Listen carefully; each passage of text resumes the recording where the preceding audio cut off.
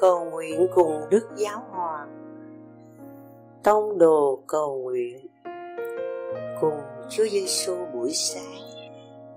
Cũng như con người đến không phải để được người ta phục vụ, nhưng là để phục vụ và hiến dân mạng sống làm giá chuộc muôn người. Trong ngày sống này, lạy cha, xin ban cho con ơn khiêm nhường để con phục vụ tha nhân tốt hơn. Con dâng lên ngài đời sống, tư tưởng và lời nói của con.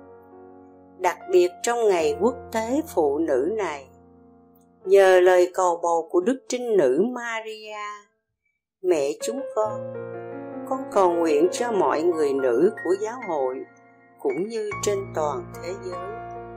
Những người đã hiến thân phục vụ người khác với lòng hiền hậu và khiêm nhường. Con cũng không quên hiệp ý cùng đức giáo hòa francisco. Trong lời cầu nguyện cho những nạn nhân bị lạm dụng. Lạy cha chúng con ở trên trời, chúng con nguyện danh cha cả sáng, nước cha trị đến, ý cha thể hiện dưới đất cũng như trên trời. Xin cha cho chúng con hôm nay lương thực hàng ngày và tha nợ chúng con.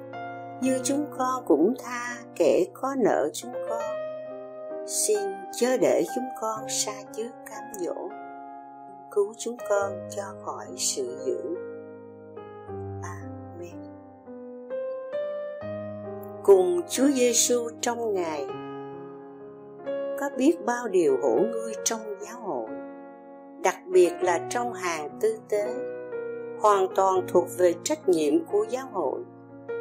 Biết bao sự tự cao tự đại, sự phản bội của người tông đồ và sự bất xứng khi lãnh nhận mình máu thánh chúa.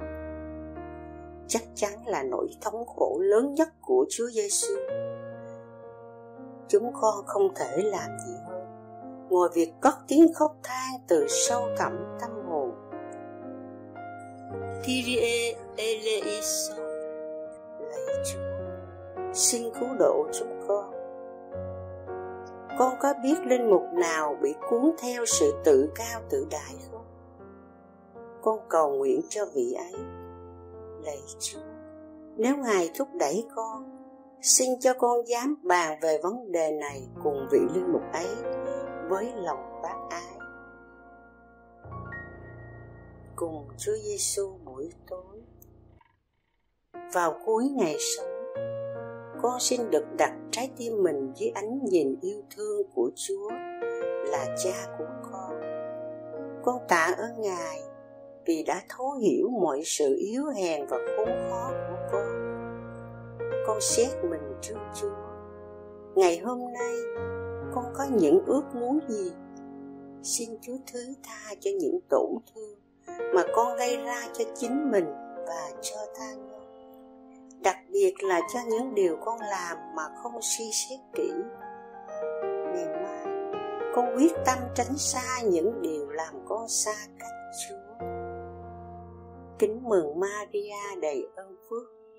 Đức chúa trời ở cùng bà bà có phúc lạ hơn mọi người nữ. Và giêsu con lòng bà gồm phúc lạ thánh maria, đức mẹ chúa trời. Cầu cho chúng con là kẻ có tội. Khi này